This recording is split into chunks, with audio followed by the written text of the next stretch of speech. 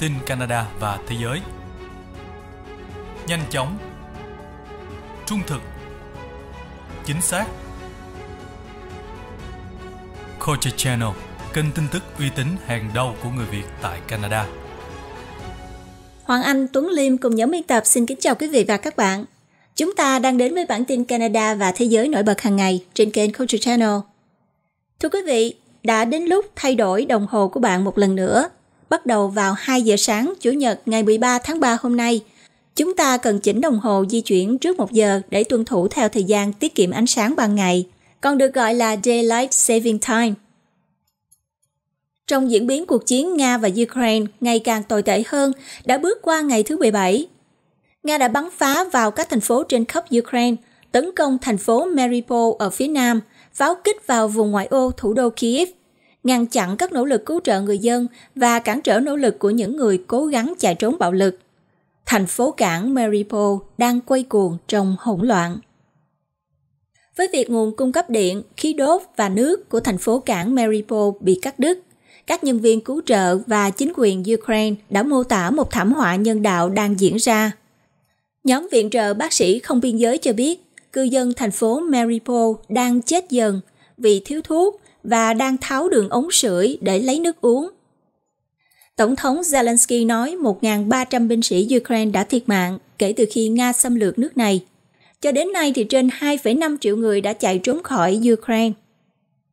Số phận của một phi hành gia Hoa Kỳ vẫn chưa chắc chắn sau khi người đứng đầu cơ quan không gian của Nga đe dọa sẽ bỏ rơi anh ta trên trạm không gian quốc tế và sẽ cho trạm không gian quốc tế ISS đâm vào Mỹ, châu Âu, Ấn Độ và Trung Quốc. Ông Putin thì công khai kêu gọi tuyển lính ngoại quốc giúp Nga ở Ukraine. Tờ báo Nhật là tờ Nikkei Asian Review vào ngày 9 tháng 3 nói rằng Nga sẵn sàng trả 400 đô la Mỹ một tuần để tuyển lính đánh thuê từ Syria và Iraq. Trong khi bão tháng 3 tràn vào vùng Maritimes của Canada, thì ở miền nam tỉnh Ontario, Chủ nhật ngày hôm nay có tuyết dẫn đến một tuần lễ thời tiết dễ chịu với thời tiết như là tháng 5. Chúng tôi sẽ cập nhật chi tiết trong bản tin này cùng một số tin tức Canada và thế giới đáng chú ý sau đây. Thủ tướng Trudeau kết thúc chuyến đi châu Âu, áp thêm các lệnh trừng phạt đối với các nhà tài phiệt Nga. Hầu hết tất cả các hạn chế COVID-19 đã được dỡ bỏ trên khắp Quebec vào thứ Bảy. Thủ hiến Jason Kenney cho biết tỉnh Alberta sẵn sàng tiếp quản đường ống Keystone XL để cung cấp năng lượng cho Hoa Kỳ. Xe điện đang phải đối mặt với các rào cản khi liên bang cố gắng thúc đẩy doanh số bán hàng. Một người chết và 6 người bị thương trong vụ xả súng sáng thứ Bảy tại một phòng chờ ở thành phố Edmonton ở trung tâm phía Bắc. Trên thế giới, Hoa Kỳ gấp rút mua 200 triệu đô la Mỹ vũ khí cho quốc phòng Ukraine không thể thanh toán điện tử và không có chuyến bay trở về nhà, hàng ngàn du khách Nga bị mắc kẹt tại Thái Lan. Ông chủ câu lạc bộ bóng đá Chelsea bị truất quyền điều hành câu lạc bộ. Hoa Kỳ sẽ không trục xuất trẻ em nhập cư, không có người đi kèm sau khi thay đổi chính sách. Tại Việt Nam, một bé gái 3 tuổi bị người tình của mẹ đóng đinh vào đầu đã tử vong. Sở thú Đài Bắc đưa hai con gấu trúc bị béo phì vào chế độ ăn kiêng, giảm cân và tập thể dục bắt buộc. Sau đây là bản tin chi tiết, mời quý vị theo dõi, mở đầu với phần tin Canada cùng với Tuấn Liêm và Hoàng Anh.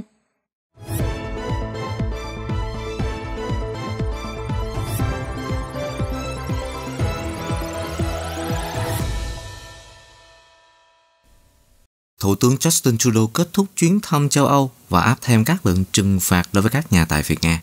Thủ tướng Justin Trudeau đã kết thúc chuyến công du châu Âu kéo dài một tuần bằng việc áp đặt thêm các biện pháp trừng phạt mới đối với Roman Abramovich và bốn nhà tài phiệt khác của Nga.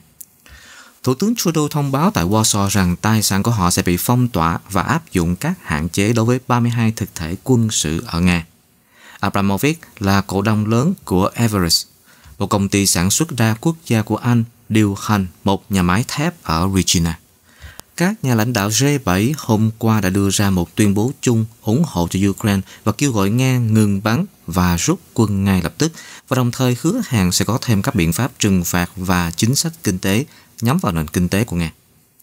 Điều đó bao gồm việc từ chối quy chế tối hội quốc của Nga đối với hoạt động thương mại. Điều này sẽ giúp ngăn cản Nga xuất khẩu hàng hóa sang G7 với mức thuế quan có lợi.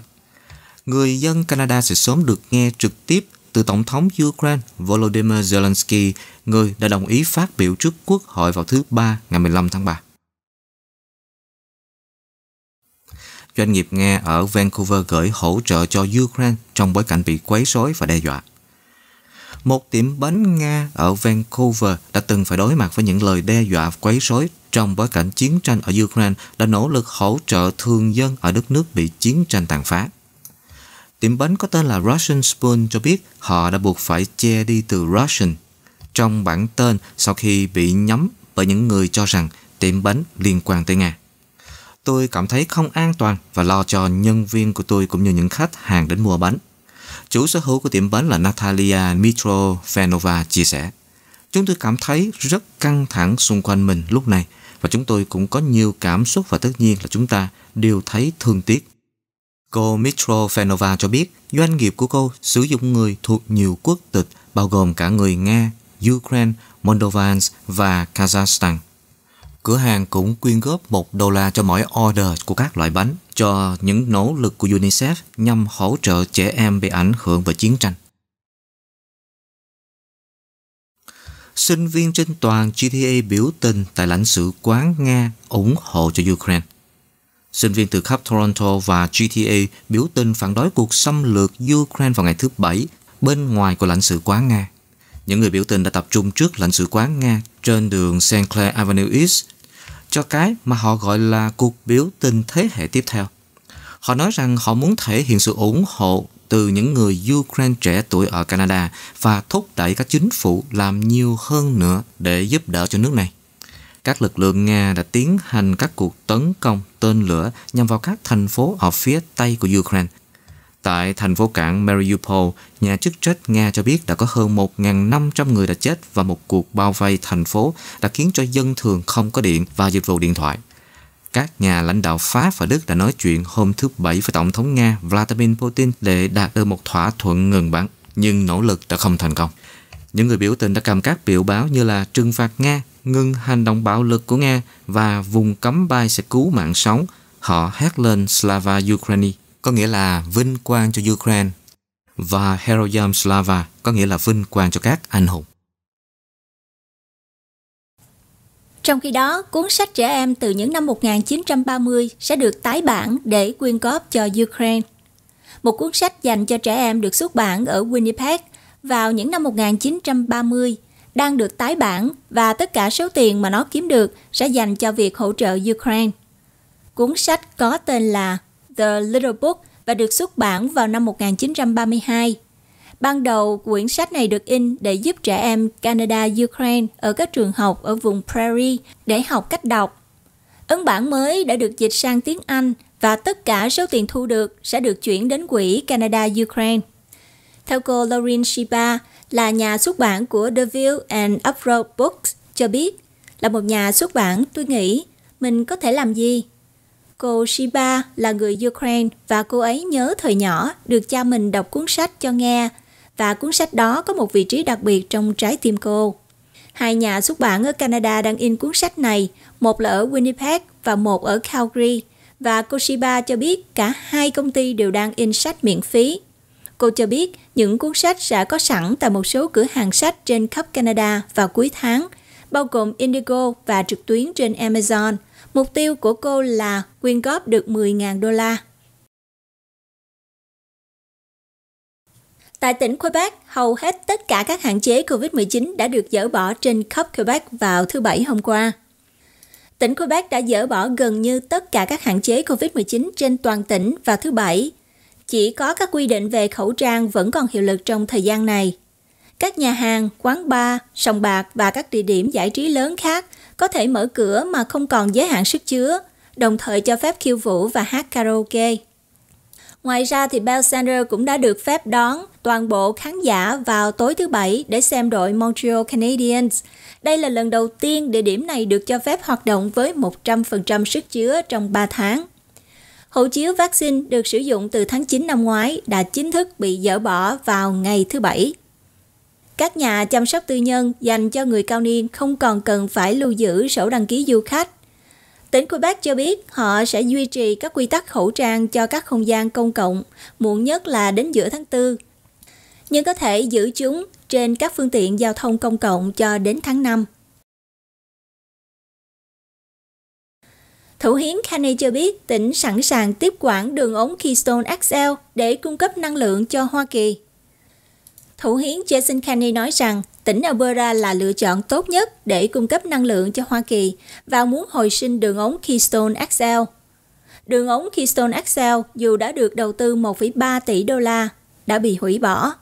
Tuy nhiên, Thủ hiến cho biết nếu ông nhận được đèn xanh từ Washington rằng đường ống có thể được hoàn thành và nếu chủ sở hữu của đường ống là TC Energy không tài trợ thì tỉnh cũng có thể tài trợ và hoàn thành dự án này.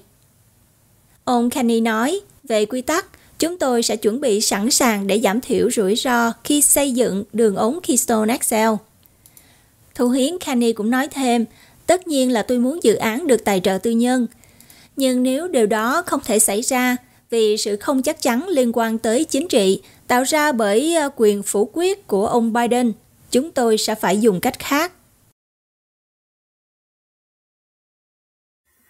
Các giảm thuế xăng dự kiến sẽ tiết kiệm cho mỗi gia đình trung bình 130 đô la trong tháng 3. Theo một nhà kinh tế, kế hoạch ngừng thu thuế khí đốt của tỉnh dự kiến sẽ giúp cho các gia đình tiết kiệm trên 70 đô la trong vòng 3 tháng. Alberta đang có kế hoạch ngừng thu thuế bắt đầu từ ngày 1 tháng 4. Điều này sẽ làm giảm giá xăng tại trạm bơm 13 xu. Động thái này được đưa ra để đáp lại chi phí tăng vọt tại các trạm xăng. Sau khi thống kê các con số, một nhà kinh tế học tại Đại học Calgary dự kiến các gia đình sẽ tiết kiệm được từ 70 cho tới 220 đô la khi đổ xăng từ tháng 4 đến tháng 6 tùy thuộc vào thu nhập của hộ gia đình. Ông Trevor Tombe cho biết, một gia đình trung bình sử dụng khoảng 200 lít xăng mỗi tháng, và nó thay đổi tùy thuộc vào lượng nhiên liệu mà bạn mua. Vì vậy mà các gia đình có thu nhập thấp hơn, có xu hướng mua ít nhiên liệu hơn. Ông Tombe cho biết các gia đình có thu nhập dưới 30.000 đô la dự kiến sẽ tiết kiệm được khoảng 70 đô la, trong khi các hộ gia đình có thu nhập trên 150.000 đô la có thể tiết kiệm khoảng 220 đô la tiền xăng từ tháng 4 cho đến tháng 6. Tỉnh bang có thể cứu trợ ngay lập tức cho các gia đình có thu nhập thấp hơn thông qua việc hoàn lại tiền mặt. Ông Tombe nói thêm, vào năm 2006 thì chính phủ tỉnh Rathcline đã trao các tờ check 400 đô la cho mỗi người dân Alberta khi mà tỉnh này thặng dư 1,4 tỷ đô la. Hôm thứ Năm, các phóng viên đã hỏi thủ hiến Kennedy là ông sẽ chọn giảm thuế sang Halifax check để giúp đỡ người dân trong tỉnh. Thì ông Kennedy đã trả lời, tại sao bạn không đi nói chuyện với những người thường xuyên ở máy bơm? CTV News đã nói chuyện với 10 người xem họ muốn gì hơn. Với 5 người thì thích hoàn tiền, một người ủng hộ việc giảm thuế xăng, trong khi một người không thiên về bên nào và ba người còn lại thì không muốn đưa ra ý kiến trước camera. Ông Peter Mackey sẽ không tranh chức lãnh đạo đảng bảo thủ. Ông Peter Mackey cho biết ông sẽ không tham gia cuộc đua vào chức lãnh đạo của đảng bảo thủ khi cuộc bình chọn được tiến hành vào tháng 9 năm nay. Ông McKay đã đưa ra quyết định này trong một tin nhắn video trên mạng xã hội hôm thứ Bảy và ông cho biết thêm đây là kết quả sau khi tham khảo ý kiến của bạn bè, đồng nghiệp và gia đình. Là một bộ trưởng nội các trong chính phủ của đảng bảo thủ của cựu thủ tướng Stephen Harper, đứng thứ hai sau cựu lãnh đạo Aaron O'Toole vào năm 2020 và lưu ý trong video rằng ông vẫn đang còn trả nợ từ cuộc tranh cử đó. Ông McKay cũng là lãnh đạo của đảng bảo thủ cấp tiến khi mà đảng này hợp nhất với Liên minh Canada, Canadian Alliance, để thành lập đảng bảo thủ Canada Conservative Party of Canada. Bốn ứng cử viên đang trong cuộc đua đến nay, bao gồm nghị sĩ khu vực Ottawa Pierre Poliver, cựu ứng cử viên của lãnh đạo năm 2020 Leslie Lewis, nghị sĩ bang Ontario độc lập Roman Barber và cựu thủ hiến Quebec là ông Jean Charest. Ông Mackay cho biết ông sẽ tiếp tục ủng hộ nhà lãnh đạo lâm thời Candice Bergen và cũng sẽ ủng hộ người chiến thắng cuối cùng trong cuộc bỏ phiếu vào tháng 9 tới đây. Các chuyên gia cho biết hãy mua ngay khi mà giá vé máy bay dự kiến sẽ tăng vọt trong bối cảnh chi phí nhiên liệu tăng. Giá nhiên liệu tiếp tục tăng cao trên khắp đất nước trong vài tuần qua đã tác động đến cuộc sống hàng ngày của người dân Canada. Ngoài việc đi lại hàng ngày thì chi phí nhiên liệu tăng vọt cũng có khả năng làm ảnh hưởng đến số tiền mà bạn chi cho một vé máy bay, các chuyên gia cho biết. Richard Vanderlof là chủ tịch của tripcentral ca nói rằng không có gì phải bàn cãi, khi mà xăng dầu tăng thì giá hàng không cũng tăng vì nhiên liệu là một yếu tố chính trong các cơ cấu chi phí hàng không nên nó luôn có ảnh hưởng. Theo Vanderlof, đặt vé sớm là một cách hiệu quả. Mua vé sớm hơn cũng là điều mà David Gillen, giám đốc nghiên cứu giao thông vận tải tại Đại học British Columbia khuyến nghị. Điều quan trọng là kiểm tra các file print, tức là các điều khoản bên trong khi bạn mua vé để bảo đảm chiếc vé bạn đang mua thực sự đáng giá đồng tiền. Chuyên gia này cho biết, một khi chính sách và thủ tục hoàn tiền có thể chấp nhận được thì bằng mọi cách hãy mua ngay để chốt giá vé. Nếu giá vé tăng thì bạn sẽ mua được với giá thấp hơn, ông nói. Và nếu giá vé giảm thì họ đã xác định đúng quy trình hoàn lại tiền khả thi và họ sẽ nhận lại được khoản chênh lệch. Trong tương lai, thật khó có thể dự đoán giá dầu sẽ ảnh hưởng đến du lịch như thế nào vì chúng có thể nhanh chóng thay đổi khi các quốc gia khác nhau tăng hoặc giảm cán cân cung cầu. Ngoài ra các chuyên gia này cũng lưu ý ngoài vé máy bay thì dịch vụ thuê xe cũng là một vấn đề cần chú ý. Do nhu cầu đang tiếp tục tăng cao khi mà các hạn chế đại dịch được nới lỏng. Khi lạm phát và các vấn đề về chuỗi cung ứng dẫn đến giá xăng và giá hàng tạp hóa tăng trên toàn quốc, các chuyên gia đề xuất người dân Alberta nên thắt chặt ngân sách và chú ý xem họ tiêu tiền vào những gì. Theo Heather Thompson là giám đốc điều hành của Alberta School of Business cho biết, chúng ta đã thấy sự gia tăng giá của thực phẩm trong khoảng 13 năm nay và nó khá ổn định, nhưng chúng ta chưa từng thấy mức tăng cao như thế này và đối với một gia đình có trung bình 4 người, điều này có nghĩa là mức tăng khoảng 1.000 đô la từ giá hàng tạp hóa mà bạn đã mua vào năm ngoái. Vì vậy, nói chung là giá tăng khoảng 8%. Ông Thompson cũng cho biết người tiêu dùng sẽ sớm nhận thấy thực phẩm tăng giá không chỉ tại cửa hàng tạp hóa mà còn tại các nhà hàng. Theo phó giáo sư kinh tế tại Đại học Alberta là ông Chitan Dave cho biết, tình trạng lạm phát hiện nay ở nước này là kết quả của nhiều yếu tố bắt đầu từ đại dịch COVID-19. Ông Dave cho biết các vấn đề về chuỗi cung ứng, chi phí sản xuất tăng và giá dầu là những gì đã dẫn đến điều này.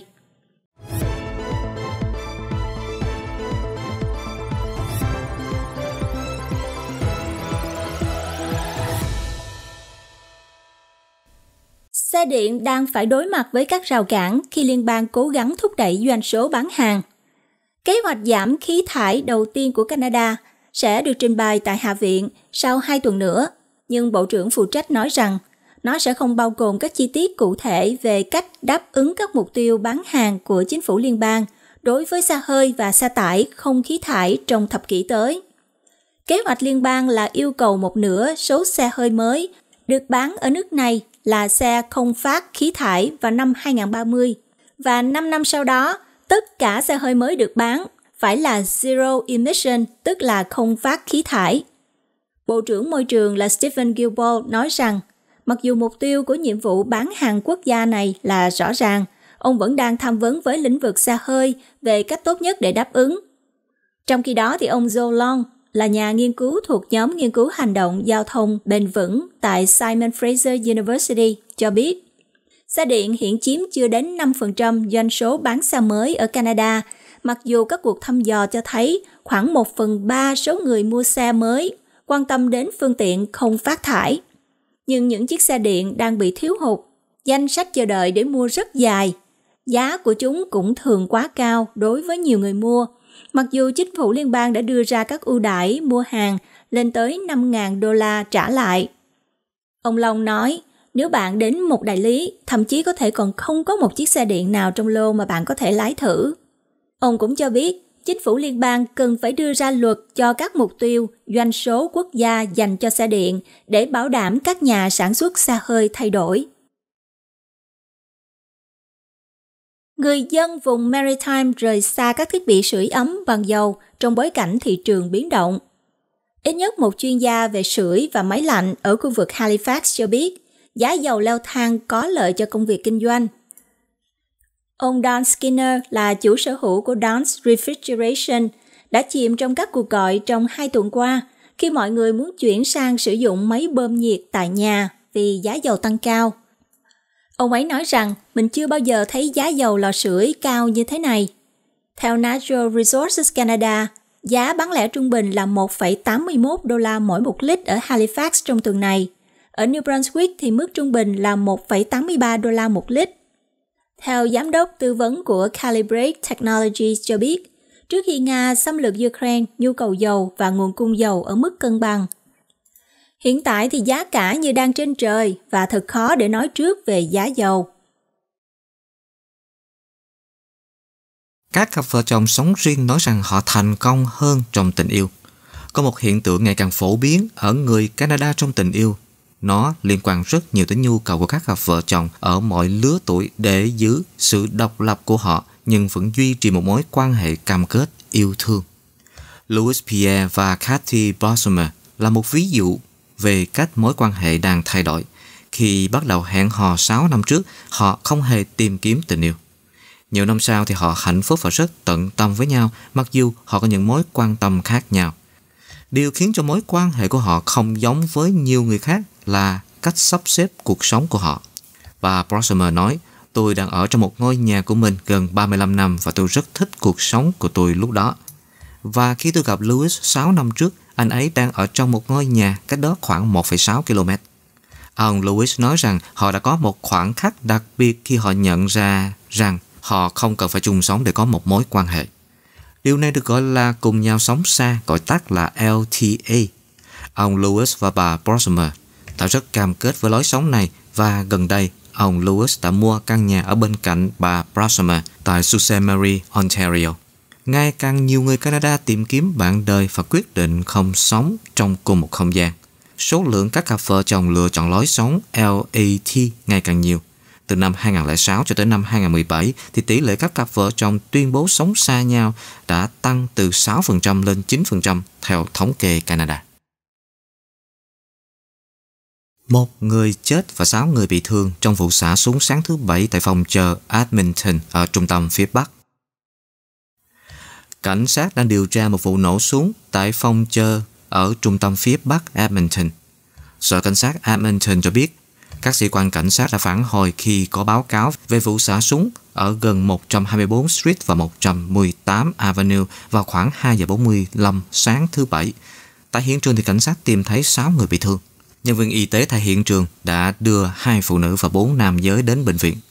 Sau đó thì cảnh sát phát hiện một người đàn ông khác bị thương đã tự tìm đến bệnh viện. Trong số những người bị thương thì có bốn người không nguy hiểm đến tính mạng và hai người vẫn nằm trong bệnh viện với tình trạng nghiêm trọng. Và một trong những người đàn ông bị thương sau đó là chết vì vết thương nghiêm trọng. Năm người thiệt mạng trong vụ tai nạn trên Highway 401 ở phía tây Belleville, Ontario. Cảnh sát Ontario OPP cho biết 5 người đã thiệt mạng trong một vụ tai nạn xe trên đường cao tốc 401 giữa Belleville và Trenton vào sáng sớm thứ Bảy. Bản tin từ OPP cho biết vụ tai nạn đã xảy ra vào lúc 3 giờ 45 sáng trên đường cao tốc giữa đoạn đường Icon và đường Saint Hilaire. Vụ tai nạn liên quan đến một xe kéo và một xe tải chở khách. Cảnh sát đã xác nhận trong một bản cập nhật vào chiều ngày thứ Bảy rằng 5 người đã chết, hai người được đưa đến bệnh viện trong tình trạng nghiêm trọng. OPP nói rằng người điều khiển xe tải không bị thương. Cảnh sát chưa xác nhận được danh tính của bất kỳ nạn nhân nào. Xe của thủ hiến Saskatchewan bị tạm giữ ở tỉnh BC. Cảnh sát nói rằng người lái xe không tỉnh táo. Một chiếc xe được đăng ký dưới tên của thủ hiến tỉnh bang Saskatchewan đã bị tạm giữ ở tỉnh British Columbia sau khi người lái xe, người này không phải là thủ hiến, bị cho là đã không vượt qua kiểm tra độ tỉnh táo khi lái xe. Cảnh sát Vancouver cho biết họ đã kéo một chiếc xe có biển số của Saskatchewan vào khoảng 1 giờ sáng thứ Năm gần đường Burra và Robson sau khi người lái xe là một người đàn ông 28 tuổi có bằng lái xe của tỉnh Saskatchewan đã vượt đèn đỏ.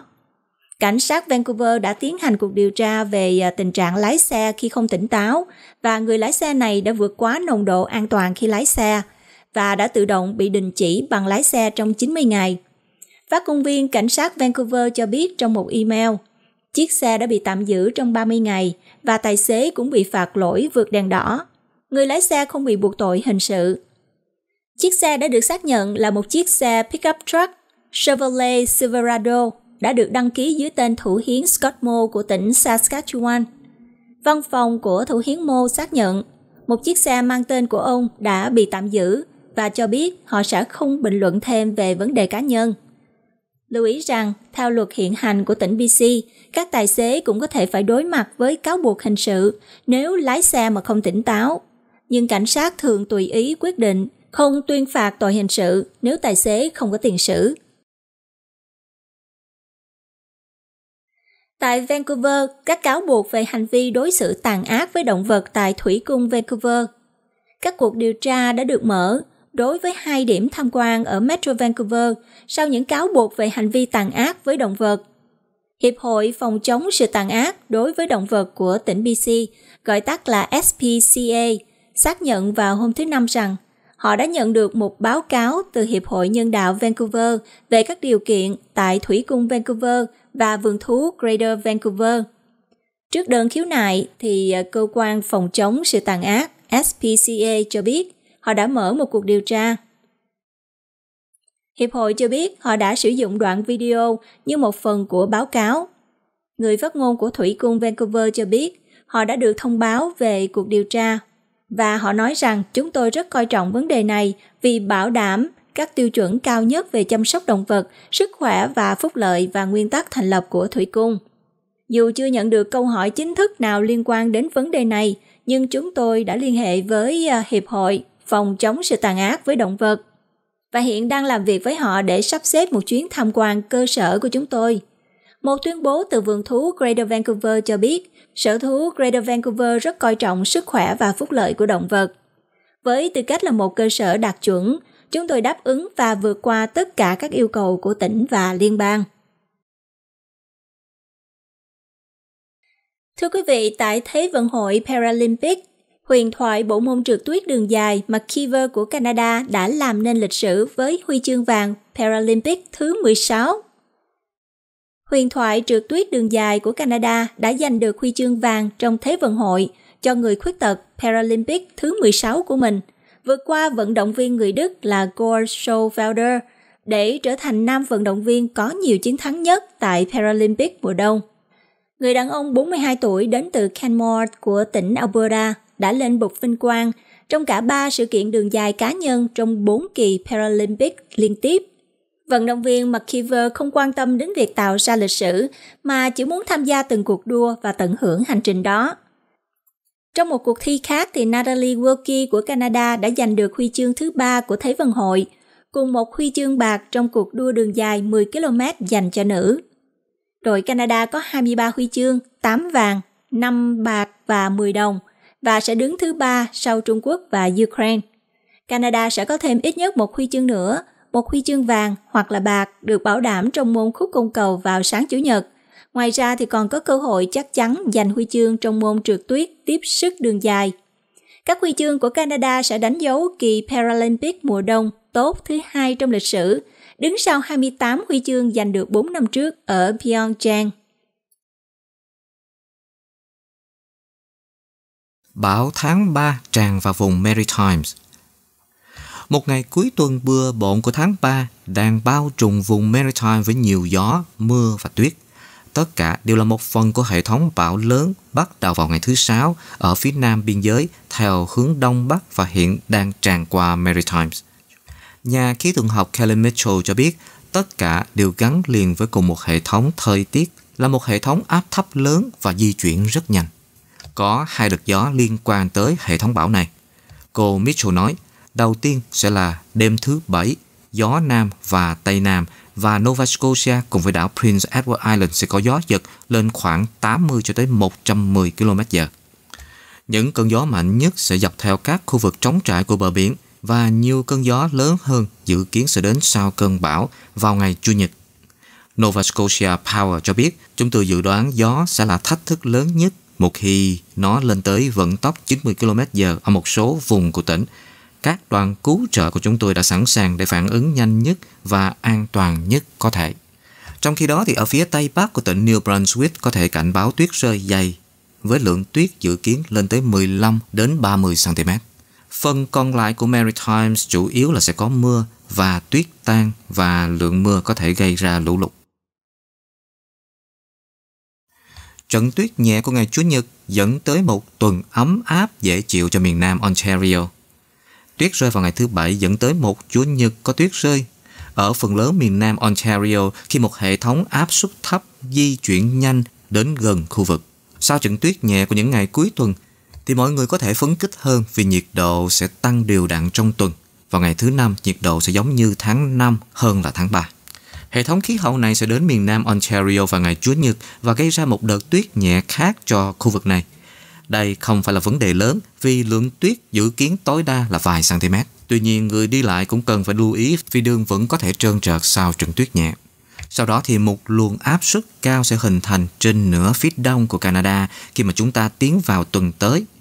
Mức nhiệt độ cao sẽ ở lại khắp Ontario trong hầu hết cả tuần và tốt hơn nữa là nhiệt độ sẽ ấm lên mỗi ngày khi mà chúng ta bước vào cuối tuần. Chúng ta sẽ thấy nhiệt độ phù hợp với tháng 5 hơn là tháng 3 khi mà bước sang thứ năm.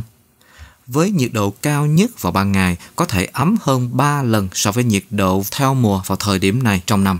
Nhiệt độ cao nhất vào ngày thứ năm có thể dễ dàng lên tới 15 độ C trên một số vùng ở Nam Ontario. Tuy nhiên đối với những người sống gần với bờ hồ thì có thể hơi thất vọng do nhiệt độ thấp hơn so với những vùng trong đất liền. Tuy nhiên, quý vị cũng đừng quá thất vọng vì thời tiết vẫn sẽ ấm hơn bình thường theo mùa, ngay cả khi ở những khu vực chịu ảnh hưởng bởi những hồ nước mát hơn.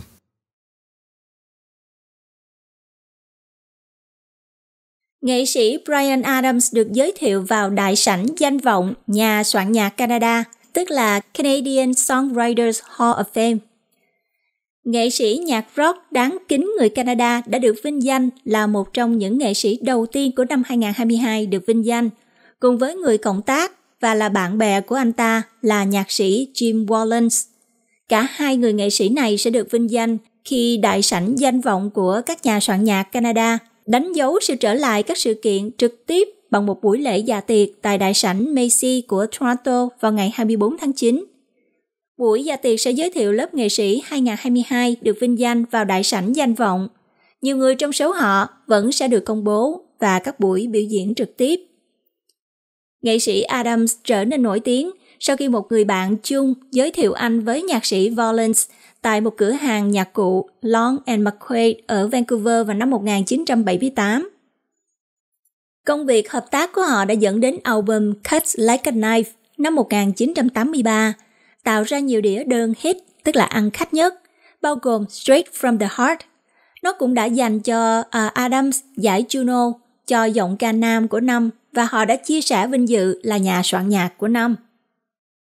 Tiếp theo đó là bản Reckless đã vươn lên vị trí số 1 trên bảng xếp hạng album của Hoa Kỳ và Canada với các đĩa đơn ăn khách nhất Summer of 69, Run to You and Heaven. Nghệ sĩ Adams cũng tiếp tục thu âm một loạt các bài rock hit lớn khác, trong khi Valence thì viết nhạc cho Glass Tiger, Anne Bure và Joanne Jett.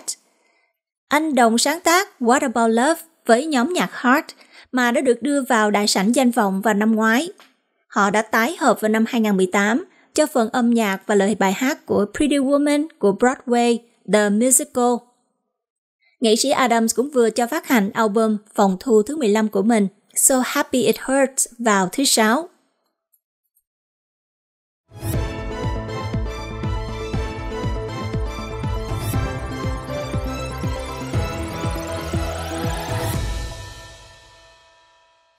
Quý vị và các bạn đang theo dõi bản tin Canada và Thế giới trên kênh Culture Channel và trên các nền tảng của tạp chí Culture Magazine. Nếu quý vị thấy thông tin là hữu ích, để ủng hộ cho chương trình, rất mong quý vị nhấn nút like, chia sẻ phản hồi và chia sẻ video. Xin cảm ơn quý vị và các bạn. Và bây giờ tiếp theo trong bản tin, mời quý vị theo dõi một số tin tức thế giới đáng chú ý sau đây. Nga tấn công gần biên giới Ba Lan, ngăn chặn đoàn xe viện trợ, thành phố cảng Maripo quay cuồng trong hỗn loạn. Hoa Kỳ gấp rút mua 200 triệu đô la Mỹ vũ khí cho quốc phòng Ukraine. Giám đốc cơ quan không gian Nga, dọa, sẽ bỏ lại phi hành gia Mỹ trên trạm không gian.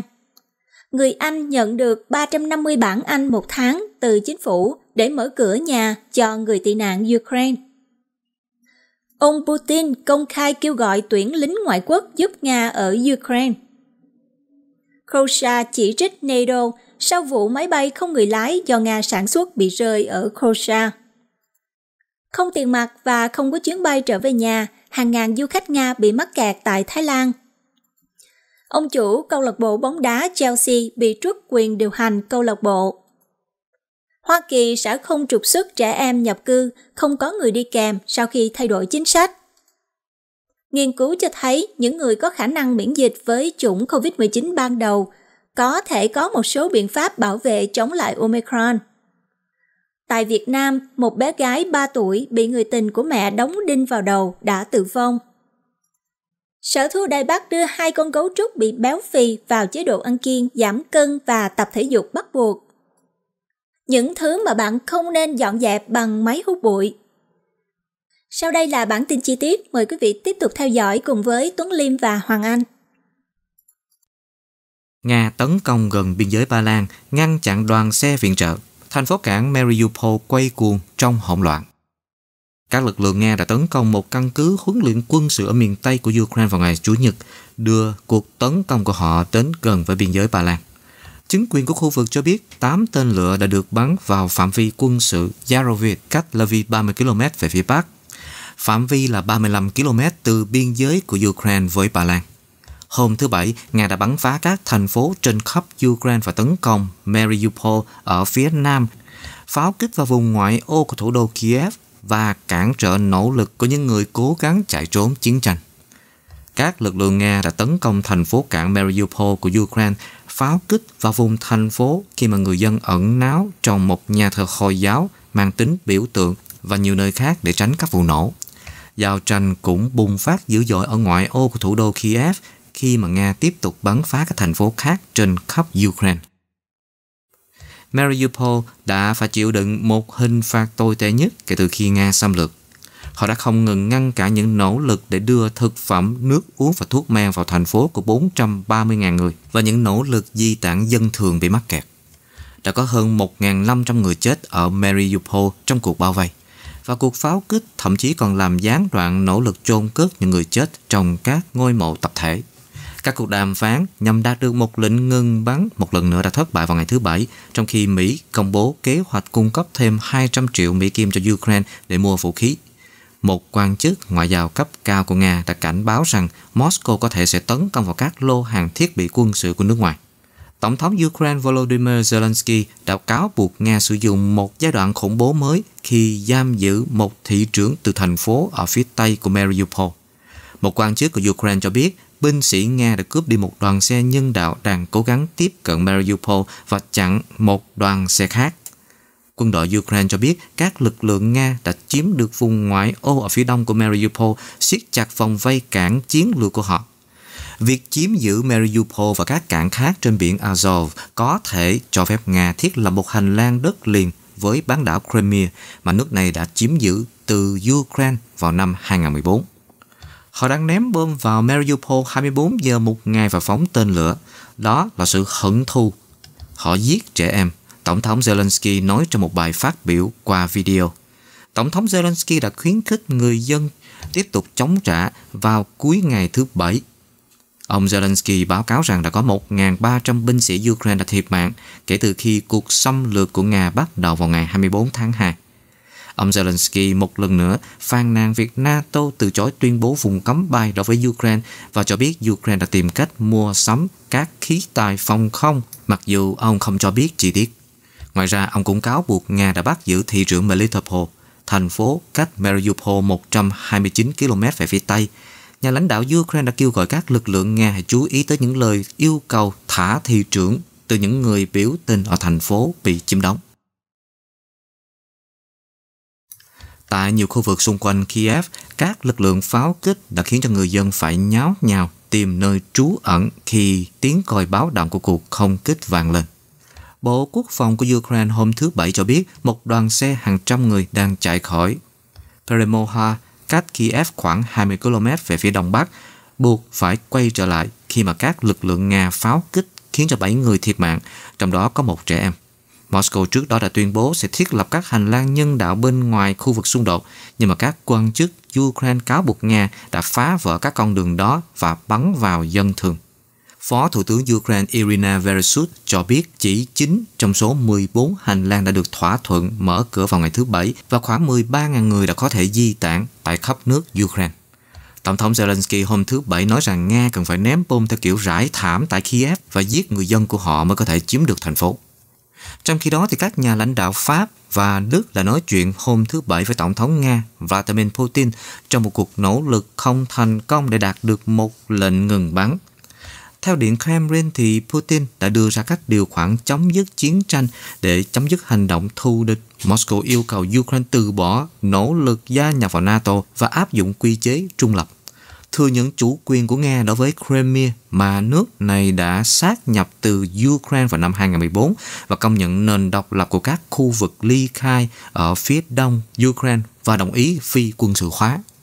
Trong một diễn biến khác, việc nguồn cung cấp về điện, khí đốt và nước của cảng Mariupol bị cắt đứt, các nhân viên cứu trợ và chính quyền Ukraine mô tả một thảm họa nhân đạo đang diễn ra. Nhóm viện trợ bác sĩ không biên giới cho biết cư dân Mariupol đang chết dần vì thiếu thuốc và đang tháo đường ống sưởi để lấy nước uống. Lực lượng Nga đã tấn công ít nhất hai chục bệnh viện và cơ sở y tế theo Tổ chức Y tế Thế giới. Chính phủ Nga còn cho biết hàng ngàn binh sĩ của cả hai bên đã thiệt mạng cùng với nhiều dân thường, trong đó có ít nhất 79 trẻ em Ukraine. Moldova, một trong những quốc gia nghèo nhất châu Âu, đã tiếp nhận gần 100.000 người tị nạn từ Ukraine, tương đương với 4% dân số.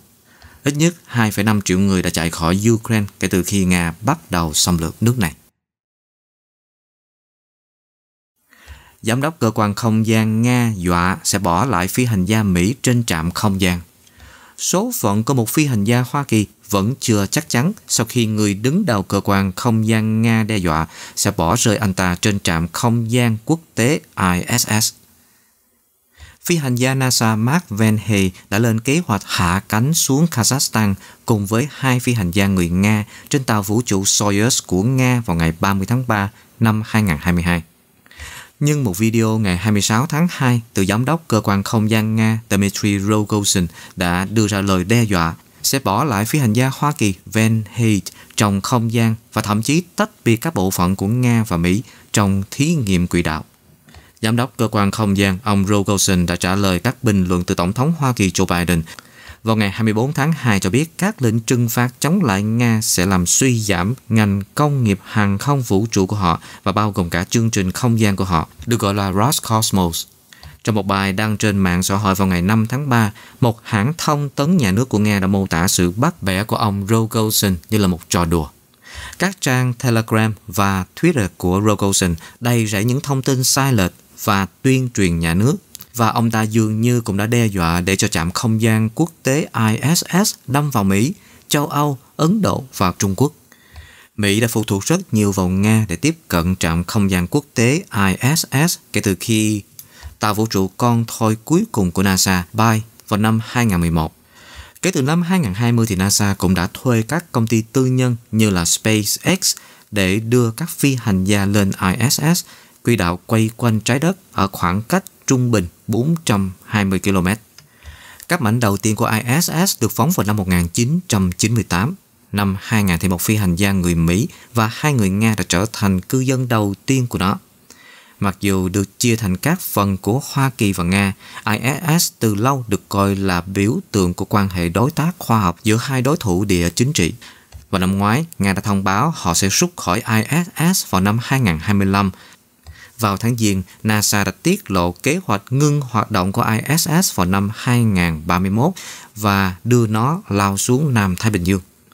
Phi hành gia Van hay đã đến ISS vào ngày 9 tháng 4 năm 2021. Tuần tới, anh ấy sẽ phá kỷ lục của Scott Kelly về thời gian ở trong không gian lâu nhất của một phi hành gia Hoa Kỳ. Tính cả Van hay thì hiện nay có 7 người trên ISS, 4 người Mỹ, 2 người Nga và một người Đức. NASA đã không phản hồi lại nhận xét của Rogozin và nói rằng họ hy vọng Venhi sẽ quay trở lại trái đất trên tàu vũ trụ của Nga theo kế hoạch sau chuyến bay vũ trụ kéo dài 355 ngày. Chuyến bay vũ trụ dài nhất từng được hoàn thành bởi nhà du hành vũ trụ người Nga Valery Polyakov vào năm 1995 sau 437 ngày trên trạm vũ trụ Mir. Viện dẫn các lệnh trừng phạt, hồi đầu tháng, Nga đã hủy bỏ một vụ phóng cho một công ty vệ tinh của Anh.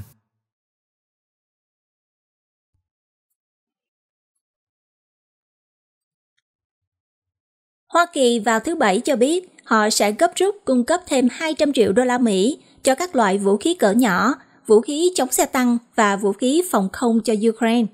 Động thái này diễn ra khi các quan chức Ukraine đang cầu xin thêm thiết bị để phòng thủ trước các cuộc pháo kích dữ dội của lực lượng Nga.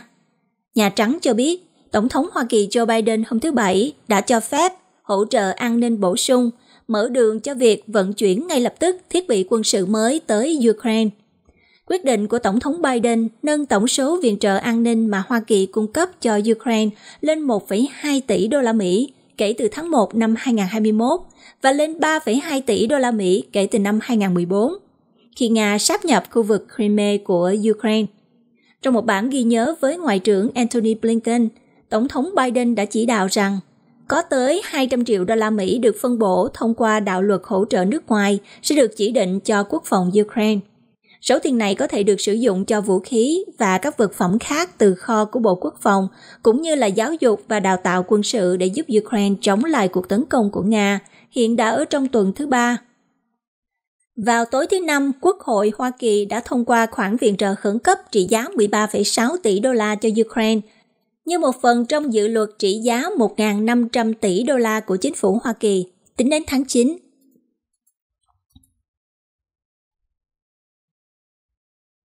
Người Anh sẽ nhận được 350 bảng Anh mỗi một tháng từ chính phủ để mở cửa nhà cho người tị nạn Ukraine. Những người Anh mà mở cửa nhà của họ cho những người tị nạn Ukraine chạy trốn khỏi cuộc xâm lược của Nga sẽ nhận được khoản thanh toán cảm ơn là 350 bảng Anh mỗi một tháng. Chính phủ Anh đã công bố kế hoạch này vào tối thứ Bảy. Kế hoạch những ngôi nhà cho Ukraine sẽ được triển khai trong tuần này, sẽ cho phép các cá nhân, tổ chức từ thiện nhóm cộng đồng và doanh nghiệp đưa những người chạy trốn khỏi chiến tranh đến nơi an toàn, ngay cả khi họ không có quan hệ nào với Vương quốc Anh. Các nhà tài trợ có thể đề cử một cá nhân hoặc là gia đình người Ukraine được nêu tên ở cùng với họ trong nhà của họ, hoặc là cung cấp một bất động sản riêng để họ sử dụng miễn phí Kế hoạch này diễn ra trong bối cảnh chính phủ Anh đang phải đối mặt với những lời chỉ trích về tốc độ và quy mô của những nỗ lực đưa những người Ukraine bỏ trốn đến Vương quốc Anh. Những người bảo trợ người tị nạn thông qua tuyến đường mới này chưa được khai thác sẽ phải cam kết với chương trình trong thời gian tối thiểu là 6 tháng, nhưng được khuyến khích duy trì đề nghị càng lâu càng tốt. Những người cung cấp nhà ở sẽ được kiểm tra và các ứng viên Ukraine sẽ phải trải qua kiểm tra an ninh. Một trang web thu thập các biểu hiện quan tâm sẽ ra mắt vào thứ hai. Chính phủ cho biết họ cũng đang nỗ lực để tạo điều kiện cho các cộng đồng, khu vực tình nguyện và các tổ chức từ thiện và tôn giáo tài trợ cho các nhóm người Ukraine. Bộ trưởng nội các là ông Michael Gove cho biết, Vương quốc Anh đứng sau hỗ trợ Ukraine trong giờ đen tối nhất của họ và kêu gọi mọi người tham gia nỗ lực quốc gia để giúp đỡ những người tị nạn. Ông Gove cũng đang kêu gọi thu giữ các dinh thự trị giá hàng triệu bảng Anh của các nhà tài phiệt Nga và sử dụng để làm nơi ở cho những người tị nạn Ukraine như một sự đánh trả, theo tờ Mail on Sunday. Những người Ukraine có người bảo trợ sẽ được phép ở lại Vương quốc Anh 3 năm với quyền làm việc và tiếp cận các dịch vụ công. Bộ trưởng Giáo dục là Nazim Zahawi hôm thứ Bảy đã thông báo rằng các bài học trực tuyến sẽ được cung cấp cho 100.000 học sinh tị nạn khi các em chuyển sang cuộc sống và sự an toàn ở Anh. Trong khi đó, tại Nga, Tổng thống Nga Vladimir Putin vừa chính thức kêu gọi tình nguyện quân nước ngoài tới giúp Nga đánh lại quân đội Ukraine. Phát biểu tại cuộc họp của Hội đồng An ninh Quốc gia Nga Ông nói, người nước ngoài nào muốn chiến đấu cùng quân Nga chống Ukraine thì cần được cho phép.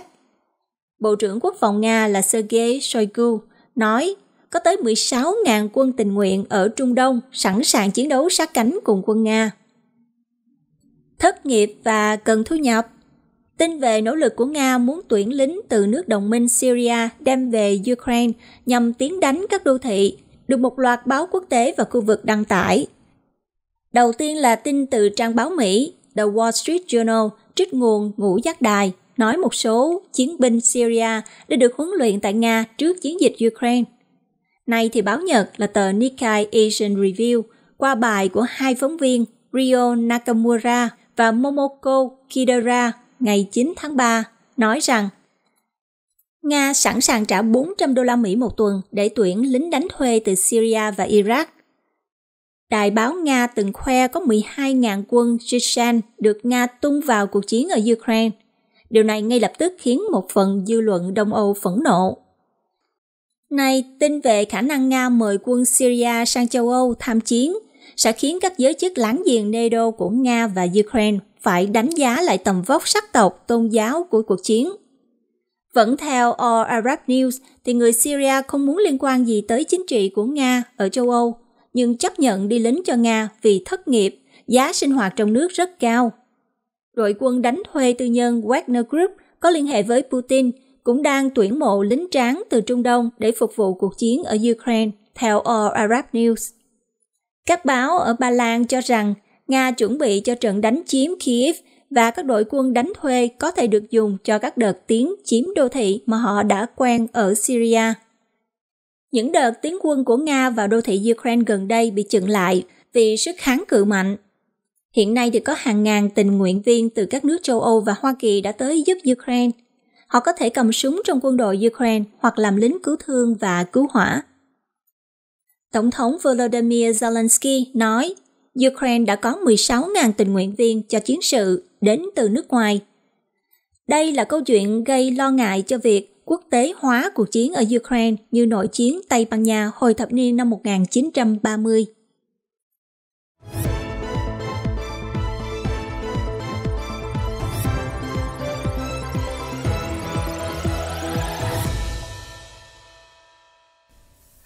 Croatia chỉ trích NATO sau vụ máy bay không người lái do Nga sản xuất bị rơi ở Croatia. Hôm thứ Bảy, các quan chức Croatia đã chỉ trích NATO vì phản ứng chậm chạp của liên minh quân sự này trước việc một máy bay quân sự không người lái dường như đã bay từ vùng chiến sự Ukraine qua không phận của ba quốc gia thành viên NATO trước khi bị rơi ở thủ đô của Croatia.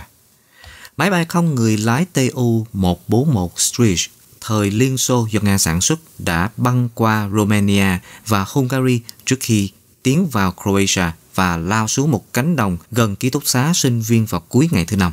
Khoảng 40 xe hơi đang đậu đã bị hư hỏng, nhưng không ai bị thương sau một tiếng nổ lớn. Trước đó thì các nhà chức trách quốc phòng Romania cho biết máy bay không người lái đã ở không phận của Romania chỉ 3 phút sau khi bay từ Ukraine nên rất khó bị đánh chặn. NATO cho biết hệ thống phòng không và tên lửa tích hợp của liên minh đã theo dõi đường bay của vật thể, nhưng Thủ tướng Croatia cho biết các nhà chức trách của Croatia đã không được thông báo về điều đó và NATO chỉ phản ứng sau khi các nhà báo đưa ra câu hỏi. Thủ tướng Croatia đã kêu gọi các nhà chức trách Hungary mở một cuộc điều tra về lý do tại sao lực lượng phòng thủ của họ dường như không nhận thấy máy bay không người lái này. Cả Nga và Ukraine đều phủ nhận họ đã phóng máy bay không người lái. Các chuyên gia quân sự cho biết Ukraine là nhà khai thác duy nhất hiện nay của chiếc Tu-141, loại máy bay có sải cánh dài 4 mét và chỉ nặng hơn 6 tấn. Không có tiền mặt, không có chuyến bay trở về nhà, hàng ngàn du khách Nga bị mắc kẹt tại Thái Lan. Hàng ngàn du khách Nga hiện đang bị mắc kẹt tại khu nghỉ mát bãi biển của Thái Lan vì cuộc chiến ở Ukraine nhiều người không thể thanh toán hóa đơn trở về nhà vì lệnh trừng phạt và các chuyến bay bị hủy. Có khoảng 6.500 du khách Nga và 1.000 người Ukraine hiện nay đang bị kẹt ở Phuket, Surat Thani, Krabi và Pattaya là bốn địa điểm đến nghỉ dưỡng ven biển nổi tiếng ở Thái Lan. Cuộc khủng hoảng ở châu Âu cũng đặt ra một khó khăn trong các kế hoạch phục hồi cho ngành du lịch của quốc gia Đông Nam Á vốn đã đón nhiều du khách từ Nga hơn từ bất kỳ nước láng giềng nào trước khi đại dịch xảy ra. Khoảng 17.599 người Nga chiếm lượng khách lớn nhất trong tháng 2, với tỷ lệ 8,6% trong tổng số 203.970 người. Sau cuộc tấn công vào Ukraine của Nga thì vào ngày 24 tháng 2, con số đó là giảm đáng kể. Theo ông Yuthanasak Supason, thống đốc của Tổng cục Du lịch Thái Lan cho biết du khách Nga bị mắc kẹt tại Thái Lan hiện đang phải đối mặt với hai vấn đề chính. Đó là việc hủy chuyến bay về nước của các hãng hàng không đã ngưng bay đến Nga và bị đình chỉ các dịch vụ tài chính, nhất là khi các công ty thẻ tín dụng đã tham gia các lệnh trừng phạt chống lại Moscow. Trong khi hầu hết các chuyến bay trực tiếp từ Nga đã bị đình chỉ, ông Yutansak cho biết các nỗ lực cũng đang được thực hiện để tìm ra các phương thức thanh toán thay thế cho khách du lịch Nga. Các nhà chức trách Thái Lan vào cuối năm nay dự kiến sẽ dỡ bỏ hầu hết các quy định kiểm dịch và xét nghiệm đã áp dụng để chống lại sự lây lan của virus. Điều này sẽ giúp cho khách nước ngoài nhập cảnh dễ dàng hơn.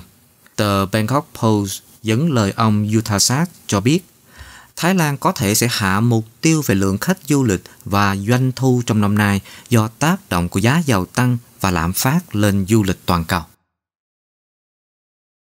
Ông chủ của Chelsea bị truất quyền điều hành câu lạc bộ bóng đá. Ban tổ chức Premier League hôm thứ Bảy đã quyết định cấm ông Roman Abramovich điều hành Chelsea sau khi ông chủ của câu lạc bộ đã bị chính phủ Anh trừng phạt vì cuộc chiến của Nga với Ukraine. Việc ban lãnh đạo liên đoàn quyết định trước quyền điều hành của nhà tài phiệt người Nga đã chấm dứt 19 năm điều hành của ông ở câu lạc bộ phía Tây London. Mặc dù điều này đã không gây ảnh hưởng đến các cầu thủ Chelsea, câu lạc bộ vẫn có thể tiếp tục hoạt động theo giấy phép được cấp bởi chính phủ Anh. Trước khi áp đặt các lệnh trừng phạt, ông Ibrahimovic hồi tuần trước đã tuyên bố rằng ông sẽ rao bán Chelsea. Ban đầu, Ibrahimovic hy vọng sẽ chuyển số tiền thu được sang một quỹ mới cho các nạn nhân của cuộc chiến ở Ukraine. Tuy nhiên, chính phủ Anh đã quyết định chỉ trừng phạt một vụ mua bán không có lợi cho Ibrahimovic nhằm siết chặt lệnh trừng phạt lên các cá nhân có ảnh hưởng mà họ coi là tạo điều kiện cho chế độ của Putin. Một số người hâm mộ Chelsea đã tiếp tục đứng phía ông Ibrahimovic trong suốt hai tuần diễn ra cuộc chiến – trong trận đấu mà Liên đoàn bóng đá mong muốn thông qua nó sẽ thể hiện tính đoàn kết với Ukraine và các nạn nhân trong cuộc chiến. Người hâm mộ Chelsea, thậm chí còn hô vang tên của ông. Việc ông Ibrahimovic bị Premier League truất quyền điều hành đã ngăn chặn triều đại của chủ sở hữu tỷ phú nước ngoài đầu tiên của giải đấu. Người có tài sản biến Chelsea thành một trong những câu lạc bộ chi tiêu nhiều nhất ở châu Âu và là một trong những đội bóng thành công nhất tại Premier League. Hoa Kỳ sẽ không trục xuất trẻ em nhập cư, không có người đi kèm sau khi thay đổi chính sách. Chính quyền của Tổng thống Hoa Kỳ Joe Biden đã nới lỏng chính sách biên giới gây tranh cãi từ thời cựu Tổng thống Donald Trump. Điều này đồng nghĩa với việc trẻ em di cư không có người đi kèm sẽ không bị trục xuất khỏi Hoa Kỳ. Theo Trung tâm Kiểm soát và Phòng ngừa Dịch bệnh CDC Hoa Kỳ cho biết vào đầu ngày thứ Bảy, giám đốc của CDC sẽ chấm dứt một lệnh theo tiêu đề 42 đình chỉ quyền giới thiệu một số người nhất định vào Hoa Kỳ. Trên thực tế thì điều này có nghĩa là trẻ em không có người đi kèm sẽ không bị trục xuất khỏi Hoa Kỳ theo lệnh của CDC. Lệnh tiêu đề 42 được CBC ban hành vào tháng 3 năm 2020 khi bắt đầu đại dịch COVID-19. Theo đó cho phép các nhà chức trách Hoa Kỳ trục xuất nhanh chóng các gia đình di cư qua biên giới Hoa Kỳ-Mexico mà không có cơ hội tị nạn ở Hoa Kỳ. Trong một lệnh riêng dài 21 trang biện minh cho quyết định chấm dứt tiêu đề 42 dành cho trẻ em không có người đi kèm, Giám đốc CDC đã trích dẫn. Sự sụt giảm số ca COVID-19 gần đây trên cả nước và tỷ lệ tiêm chủng tăng ở Hoa Kỳ, cũng như ở các quốc gia của những người di cư đến biên giới phía Nam. Tổng thống Biden vào đầu nhiệm kỳ của tổng thống của mình đã miễn trừ chính sách trục xuất trẻ em không có người đi kèm – nhưng một thẩm phán liên bang ở Texas đã phán quyết vào ngày 4 tháng 3 rằng không thể loại trừ trẻ vị thành niên trong một vụ kiện do bang Texas chống lại chính quyền. Phán quyết của bang Texas đã gây áp lực lên chính quyền để xem xét liệu có hủy bỏ hoàn toàn lệnh này hay không. Một nghiên cứu mới đã phát hiện ra rằng những người có được khả năng miễn dịch với chủng SARS-CoV-2 ban đầu là loại virus gây ra COVID-19, có thể có một số biện pháp bảo vệ chống lại biến thể Omicron. Nghiên cứu được thực hiện bởi một nhóm nghiên cứu quốc tế từ Đại học Johns Hopkins Medicine báo cáo rằng những người đã được tiêm chủng hoặc là tiếp xúc với bệnh nhiễm trùng có một số mức độ bảo vệ chống lại Omicron vì các đột biến của nó không được tìm thấy trong các bộ phận của virus kích động miễn dịch tế bào phản ứng. Tuy nhiên, các nhà nghiên cứu cảnh báo rằng phát hiện của họ chỉ liên quan đến một loại phản ứng miễn dịch tế bào. Do đó, họ cho rằng có thể phản ứng miễn dịch liên quan đến kháng thể đã bị thất bại khi Omicron gây ra các bệnh nhiễm trùng đột phá. Các phát hiện đã được công bố vào đầu tháng này trên MBO là một tạp chí khoa học được bình duyệt từ Hiệp hội Vi sinh vật học Hoa Kỳ. Các nhà nghiên cứu cho biết, nghiên cứu củng cố những phát hiện khác ở Hoa Kỳ và Nam Phi đã cho kết quả tương tự đối với những người trước đây đã bị nhiễm hoặc là tiêm vaccine chống lại chủng COVID-19 ban đầu. Trong khi các phát hiện cho thấy khả năng miễn dịch được duy trì từ chủng COVID-19 ban đầu thông qua các biến thể tiếp theo của nó. Các tác giả của nghiên cứu cho biết cần phải nghiên cứu thêm để xác định đầy đủ lý do tại sao những người được bảo vệ này vẫn có thể bị nhiễm bệnh do Omicron. Chuyển sang bản tin liên quan Việt Nam. Trong một bản tin rất thương tâm, bé gái 3 tuổi bị người tình của mẹ đóng đinh vào đầu đã tử vong. Vào tối ngày thứ Bảy, bé gái 3 tuổi trong vụ bị người tình của mẹ dùng đinh găm vào đầu đã qua đời sau gần 2 tháng điều trị tại Bệnh viện Đa khoa Sanpon tại Hà Nội. Theo bác sĩ trực tiếp điều trị cho bé gái cho biết, bé đã nhập viện trong tình trạng tổn thương não nặng, không đáp ứng điều trị. Hơn 2 tháng qua, các bác sĩ Bệnh viện Sanpon đã hội chẩn với đồng nghiệp thuộc các bệnh viện khác để nỗ lực điều trị. Song do tình trạng quá nặng, bé đã tử vong tối nay, bác sĩ cho hay. Trước đó, vào chiều ngày 17 tháng 1, bé gái đã được đưa vào bệnh viện trong tình trạng hôn mê sâu, co giật toàn thân khi khám sơ bộ thì bác sĩ phát hiện tay phải của bé đã được bó bột 2 tuần. Chẩn đoán ban đầu là bị viêm màng não. Có 9 chiếc đinh găm ở đầu khiến sưng tấy. 3 tháng trước đó thì bé gái đã nhập viện 4 lần do vết thương ở mũi, nuốt 3 đinh vít, gãy tay và ngộ độc thuốc trừ sâu. Trong đó thì lần nặng nhất liên quan đến thuốc trừ sâu, bé đã hôn mê, nằm viện nhiều ngày cơ quan cảnh sát điều tra đã khởi tố bắt giữ Nguyễn Trung Huyên, 30 tuổi, để làm rõ nghi vấn dùng đinh hành hạ con riêng của người tình. Cập nhật về tình hình COVID tại Việt Nam Bản tin COVID-19 của Bộ Y tế vào ngày 11 tháng 3 cho biết đã có 169.114 ca mắc COVID-19 mới, Vĩnh Phúc bổ sung hơn 19.300 ca. Trong ngày có 74.857 ca khỏi bệnh và 71 ca tử vong. Hà Nội có 31.899 ca mắc mới. Tại Sài Gòn thì số ca mắc mới là 3.040 ca. Các địa phương khác có số ca mắc cao là Nghệ An có 11.057 ca, Phú Thọ thì có 6.352 ca, Bắc Ninh có 6.346 ca, Bình Dương có 5.574 ca, Sơn La có 4.728 ca, Hưng Yên có 4.324 ca, Lạng Sơn 4.291 ca, Hòa Bình 4.281 ca và Hải Dương có 4.035 ca. Kể từ đầu dịch đến nay, Việt Nam có 5.448.935 ca nhiễm với 41.228 ca tử vong. Tổng số ca được điều trị khỏi là 2 triệu 983.222 ca. Số bệnh nhân nặng đang được điều trị là 3.990 ca Tổng số liều vaccine đã được tiêm ở Việt Nam cho đến nay là 199 triệu 277.592 liều. Những thứ mà bạn không nên dọn dẹp bằng máy hút bụi. Chúng ta đều biết, máy hút bụi mang lại những công dụng tuyệt vời.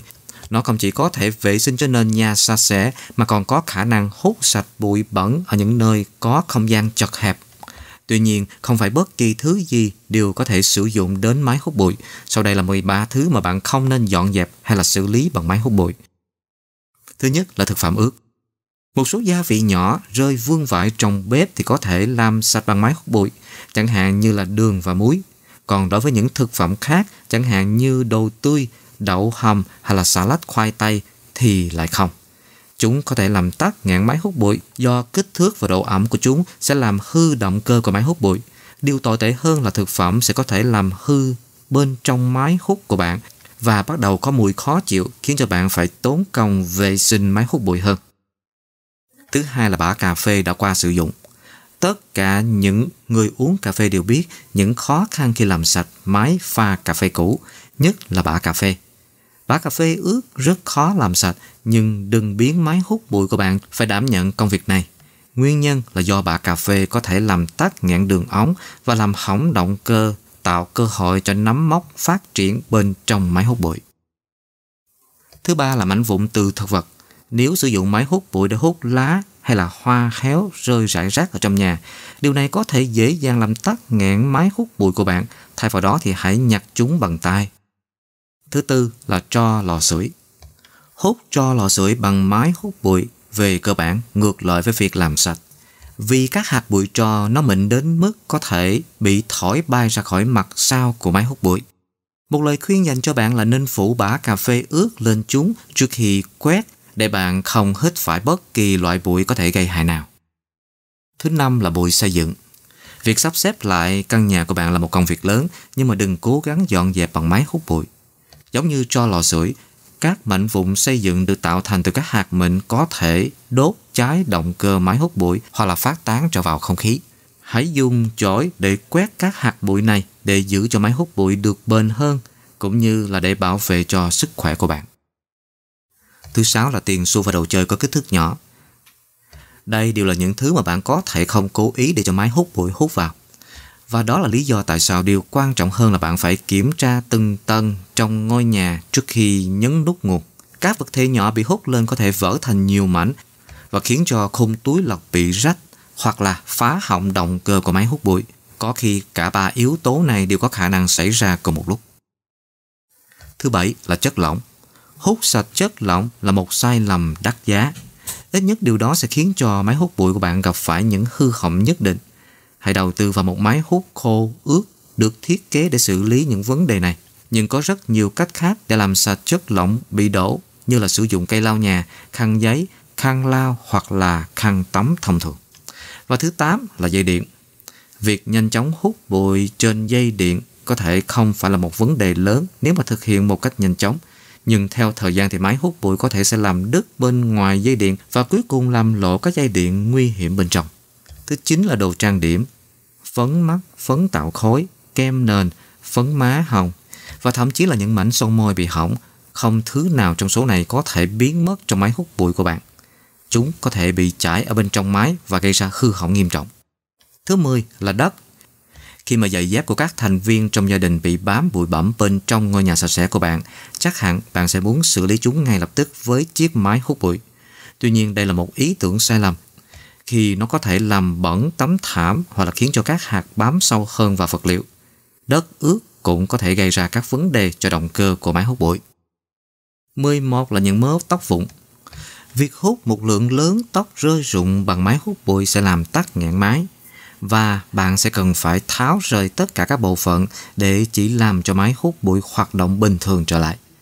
Hãy tiết kiệm thời gian và công sức cho chính mình bằng cách quét sạch mớ tóc rụng đó hoặc là nếu chúng nằm trên tấm thảm thì bạn chỉ cần dùng tay để xử lý chúng. 12 là giấy vụn. Việc hút những đống giấy vụn cũng mang lại kết quả như việc hút mớ tóc, dẫn đến máy bị tắc và động cơ bị hư hỏng. Chổi là giải pháp tốt nhất cho mớ hỗn độn này. Trừ khi giấy vụn nằm trên thảm, trong trường hợp đó thì bạn có thể chỉ cần dùng tay. 13 là mảnh thủy tinh lớn Dọn dẹp mảnh vỡ thủy tinh vốn là công việc khó khăn và nguy hiểm, nhưng mà nếu xử lý bằng cách sử dụng máy hút bụi, chúng có thể làm hỏng bên trong máy của bạn. Hãy dọn dẹp những mảnh vỡ đó bằng tay và nhớ đeo găng tay dày nếu bạn sợ bị cắt trúng hoặc là chỉ cần dùng chổi và chịu khó dọn dẹp.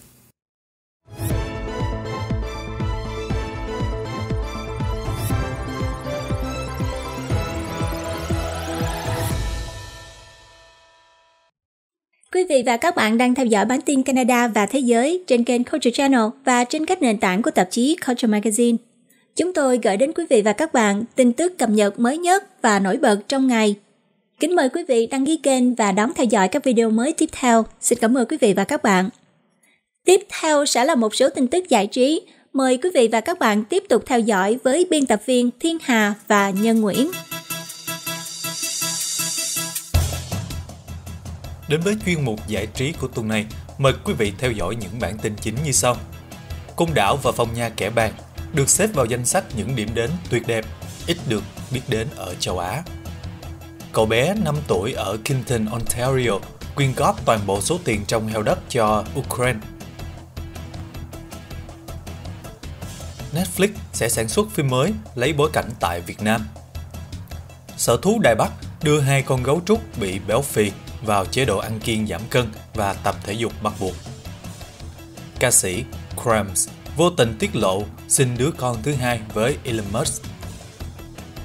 Đến với chuyên mục điểm phim, mời quý vị theo dõi bộ phim Manchester by the Sea. Côn đảo và phong nha kẻ bàng được xếp vào danh sách những điểm đến tuyệt đẹp ít được biết đến ở châu Á. Tạp chí du lịch The Travel của Canada đã xếp quần đảo Côn Đảo và vườn quốc gia Phong Nha Kẻ Bàng vào danh sách 10 điểm đến tuyệt đẹp ít người biết đến ở châu Á. Theo tạp chí The Travel mô tả, Côn Đảo giờ đây là một thiên đường bãi biển yên bình với những rặng san hô và rừng ngọc bích. Nằm cách Sài Gòn khoảng 230 km về phía đông nam, quần đảo Côn Đảo đã bị du khách bỏ qua trong nhiều năm, cho đến khi cặp đôi Hollywood Brad Pitt và Angelina Jolie đã cùng các con đến thăm vào năm 2011, khiến cho hòn đảo được biết đến rộng rãi hơn trên toàn cầu.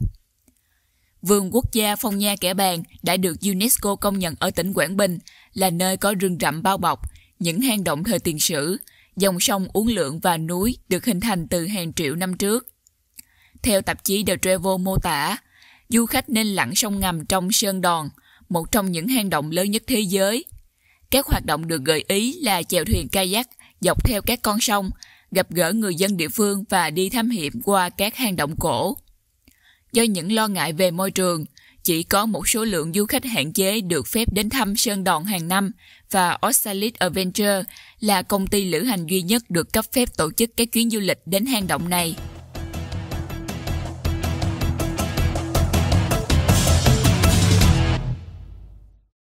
Cậu bé 5 tuổi ở Kingston, Ontario quyên góp toàn bộ số tiền trong heo đất cho Ukraine. Một cậu bé 5 tuổi ở Kingston, Ontario đang được sự cổ vũ nồng nhiệt từ các bạn cùng lớp sau khi cậu đã quyên góp gần như hết tất cả những gì mình có để hỗ trợ cho những người bị ảnh hưởng bởi chiến tranh ở Ukraine. Cầm trên tay và đếm lại số tiền chỉ hơn 20 đô la. Liam Moore nói rằng đó gần như là tất cả những gì mà cậu tích góp được trong chú heo đất của mình. Liam đã có một số tiền đó nhờ vào sự tiết kiệm và làm những công việc quan trọng theo như lời cậu mô tả. Cháu đã dọn dẹp nhà cửa và rửa chén để có được số tiền này, nhưng cháu sẽ cho đi bởi vì Ukraine là nơi đang cần nhận được tiền quyên góp. Cậu bé 5 tuổi chia sẻ. Liam Moore hiện đang theo học tại trường tiểu học công giáo St. Paul và cậu tìm hiểu về cuộc chiến Ukraine trong vài tuần qua. Sau khi nghe thấy về một cuộc quyên góp do học sinh đứng ra tổ chức tại trường, nhân dịp sự kiện Spirit Week, Liam đã trở về nhà và thảo luận với mẹ của mình về điều đó.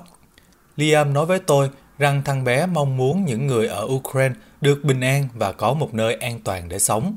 Trong thằng bé có vẻ thực sự hào hứng khi được tham gia và giúp đỡ. Mẹ của Liam chia sẻ. Buổi cây quỹ là một sáng kiến của học sinh lớp 6 tại trường St. Paul. Theo đó, học sinh sẽ quyên góp số tiền và đổi lại chúng có thể mặc bộ đồ ngủ hoặc đội mũ đến trường tùy thuộc vào các ngày trong tuần. Với những quyên góp như trường hợp này của cậu bé Liam, lớp học đã quyên góp được hơn 2.000 đô la, vượt qua mục tiêu 500 đô la ban đầu.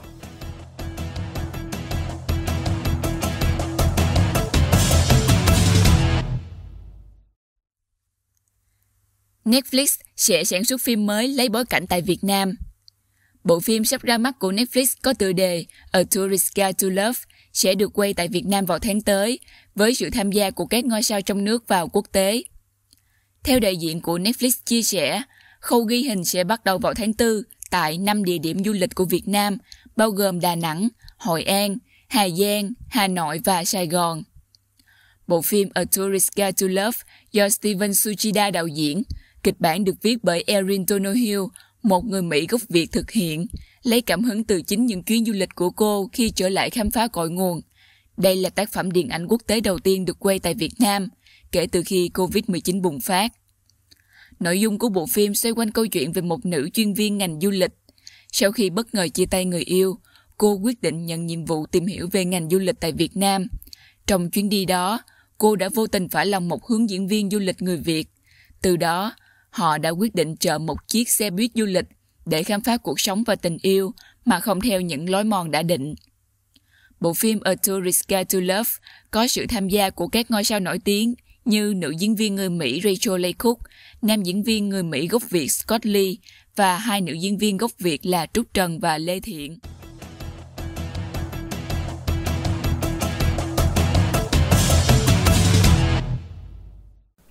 Sở thú ở Đài Bắc đưa hai con gấu trúc bị béo phì vào chế độ ăn kiêng giảm cân và tập thể dục bắt buộc. Theo các nhà chức trách cho biết, hai con gấu trúc ở vườn thú Đài Bắc đã được áp dụng một chế độ tập thể dục mới và một chế độ ăn kiêng giảm cân đặc biệt sau khi chúng đã trở nên béo phì. Hai con gấu trúc là Yuan Zai, 9 tuổi, và cô em gái Yuan Bo, nhỏ hơn 1 tuổi. Cặp chị em gấu trúc này là những điểm thu hút khách tham quan ở sở thú Đài Bắc. Cân nặng của cả hai con lần lượt là 115 kg và 70 kg. Yuan Zai và Yuan Bao ra đời thông qua phương pháp thụ tinh nhân tạo. Ba mẹ của chúng là cặp gấu trúc được Trung Quốc tặng cho Đài Loan vào năm 2008. Phạm vi cân nặng lý tưởng của gấu trúc trưởng thành là từ 105 kg đến 110 kg. Béo phì có thể gây ra các vấn đề sức khỏe nghiêm trọng cho gấu trúc như tăng huyết áp và tăng đường huyết trong cơ thể. Một tuyên bố của vườn thú cho biết các con vật hiện vẫn đang khỏe mạnh. Các biện pháp ăn kiêng và tập thể dục sẽ là ưu tiên trước mắt, được thiết kế giúp chúng đạt được cân nặng lý tưởng. Trong hành trình giảm cân của mình, cặp chị em gấu trúc này sẽ được áp dụng một chế độ ăn kiêng đặc biệt, ít muối, đường và chất béo. Kế hoạch ăn kiêng vẫn sẽ có nhiều protein, chúng sẽ được cho ăn những thứ như bánh mì hấp, ngô hoặc đậu tương. Cùng với chế độ ăn kiêng, cặp gấu trúc còn được khuyến khích tập thể dục và lối sống năng động hơn. Chúng cũng sẽ được khuyến khích chơi các trò chơi do người quản lý thiết kế để giúp chúng vận động và đốt cháy chất béo.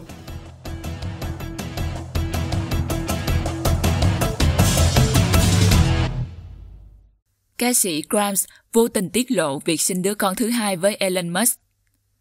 Mới đây, nữ ca sĩ kim nhạc sĩ người Canada Grimes đã vô tình thông báo về việc cô và CEO của Tesla Elon Musk đã chào đón đứa con thứ hai của mình thông qua phương pháp mang thai hộ. Trong một cuộc phỏng vấn độc quyền với Vanity Fair, Grimes cho biết bé gái tên là Esa Darksiderio Musk đã chào đời vào tháng 12 năm ngoái. Cặp đôi cũng gọi con gái của họ là Y, tức là chữ cái y dài. Béo White ra đời sau khi Grimes, 33 tuổi và Elon Musk, 50 tuổi xác nhận rằng họ đã chia tay nhau vào năm 2021 sau 3 năm hẹn hò.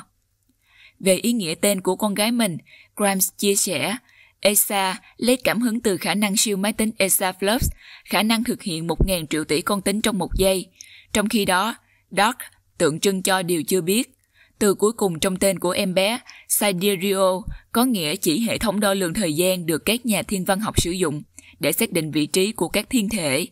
Từ này cũng liên tưởng đến Galadriel, nhân vật yêu thích của Grimes trong bộ truyện Lord of the Rings. Bé gái Esa Darksideral Musk, hay còn được gọi là Y, là con thứ bảy của Elon Musk và là con thứ hai của ông với nữ ca sĩ Grimes. Trước bé Y, cặp đôi đã có với nhau bé trai đầu lòng được gọi là East. Theo Grimes chia sẻ, mối quan hệ của cô và Elon Musk rất phức tạp. Họ sống trong những ngôi nhà khác nhau, nhưng nữ nghệ sĩ cho biết cô và Elon Musk dự định sinh thêm con, bởi cặp đôi đã luôn muốn có ít nhất 3 hoặc 4 đứa trẻ với nhau.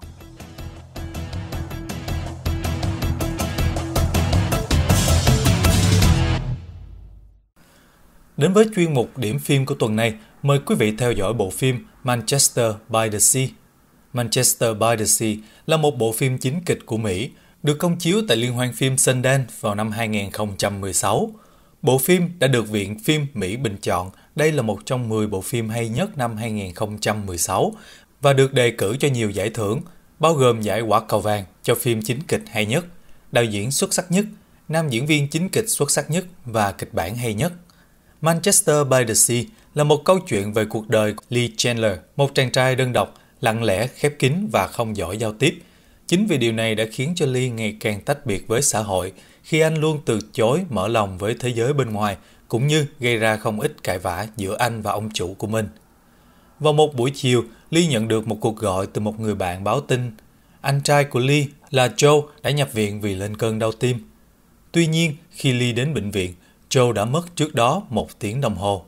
Từ đây, cuộc sống của Lee dần lệch khỏi nhịp sống bình thường khi anh phải nhận nuôi cháu trai của mình là Patrick, con trai của Joe. Sự kiện này khiến cho Lee trở về Manchester, nơi gắn liền với tình yêu, mất mát và nỗi đau thầm kín mà anh vẫn luôn chôn giấu. Manchester by the Sea là một bộ phim trầm lắng, kết hợp hài hòa giữa hiện tại và những hồi tưởng quá khứ. Bên cạnh kịch bản nhẹ nhàng, cảm động cùng nhạc phim dây dứt, điểm sáng của bộ phim còn nằm ở diễn xuất nặng nề về tâm lý của dàn diễn viên trong phim, từ vai chính đến vai phụ. Manchester by the Sea hiện đang có mặt trên Prime Video.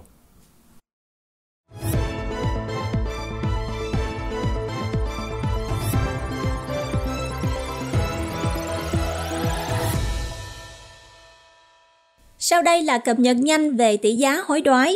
Ngân hàng Nhà nước Việt Nam công bố tỷ giá trung tâm của đồng Việt Nam với đô la Mỹ, áp dụng cho ngày 12 tháng 3 năm 2022 như sau. 1 đô la Mỹ bằng 23.164 đồng Việt Nam. Tỷ giá tính chéo của đồng Việt Nam so với đồng đô la Canada áp dụng tính thuế xuất khẩu và thuế nhập khẩu có hiệu lực ngày 10 tháng 3 năm 2022 đến ngày 16 tháng 3 năm 2022 như sau. 1 Canada bằng 18.013 đồng Việt Nam. Trong khi đó thì theo Bank of Canada, 1 Canada thì bằng 0,7862 đô la Mỹ và bằng 0,7184 đồng euro. Giá dầu thô WTI là 109,3 đô la Mỹ một thùng. Giá dầu thô Brent là 112,7 đô la Mỹ một thùng. Giá vàng là 1.987,99 đô la Mỹ một ounce. Và bây giờ chúng tôi xin được gửi đến quý vị và các bạn một câu chuyện ngắn cuối tuần, câu chuyện ý nghĩa về cuộc sống, đó là câu chuyện Hai người ăn cắp cừu với giọng đọc của Ngọc Yến. Rất cảm ơn quý vị và các bạn đã quan tâm theo dõi bản tin Canada và Thế giới nổi bật hàng ngày trên kênh Culture Channel. Kênh Culture Channel của chúng tôi có video tin tức cập nhật hàng ngày và cũng có các video về văn hóa, du lịch, ẩm thực, sức khỏe và đời sống, tư vấn di dân di trú được cập nhật liên tục trong tuần. Kính mời quý vị đón theo dõi. Chúng tôi xin kính chúc quý vị và các bạn một chủ nhật an lành và một tuần mới nhiều sức khỏe, bình an và nhiều may mắn. Hoàng Anh cùng nhóm biên tập xin kính chào tạm biệt và xin hẹn gặp lại quý vị trong bản tin của ngày thứ hai. Câu chuyện cuối tuần Chuyện hai người ăn cắp cầu Tại một vùng nông thôn nước Mỹ Có hai anh em nhà kia vì quá đói kém, bần cùng Đã rủ nhau đi ăn cắp cừu của nông dân trong vùng Không may hai anh em bị bắt dân trong làng đưa ra một hình phạt là khắc lên trán tội nhân hai mẫu tự ST có nghĩa là quân trộm cắp, được viết tắt từ chữ Stealer. Không chịu nổi sự nhục nhã này, người anh đã trốn sang một vùng khác sinh sống, hòng chôn chặt dĩ vãng. Thế nhưng, anh chẳng bao giờ quên được nỗi nhục nhã mỗi khi ai đó hỏi anh về ý nghĩa hai chữ st này còn người em, anh tự nói với bản thân mình. Tôi không thể từ bỏ sự tin cẩn của những người xung quanh và của chính tôi. Thế là, anh tiếp tục ở lại xứ sở của mình. Chẳng mấy chốc, anh đã xây dựng cho mình một sự nghiệp cũng như tiếng thơm là một người nhân hậu. Anh sẵn sàng giúp đỡ người khác với tất cả những gì mình có thể. Tuy nhiên, cho dẫu thời gian có qua đi hai mẫu tự ST vẫn còn in dấu trên vầng trán của anh. Một ngày kia, có một người lạ mặt hỏi một cụ già trong làng về ý nghĩa hai mẫu tự này. Cụ già suy nghĩ một hồi rồi trả lời Tôi không biết rõ lai lịch của hai chữ viết tắt ấy Nhưng cứ nhìn vào cuộc sống của anh ta Tôi đoán hai chữ đó có nghĩa là người thánh thiện Là viết tắt từ từ Saint đây là một câu chuyện cho chúng ta thấy hai người cùng sự khởi đầu giống nhau và cùng vấp ngã, nhưng cách mà họ nghĩ về quá khứ khác nhau. Một người thì luôn lấy quá khứ để dằn vặt về bản thân mình, còn một người đối mặt với quá khứ và xem nó như một bài học kinh nghiệm. Và câu chuyện này cũng khuyên chúng ta nên rộng lượng bỏ qua những sai lầm của người khác trong quá khứ khi họ biết sai và làm lại.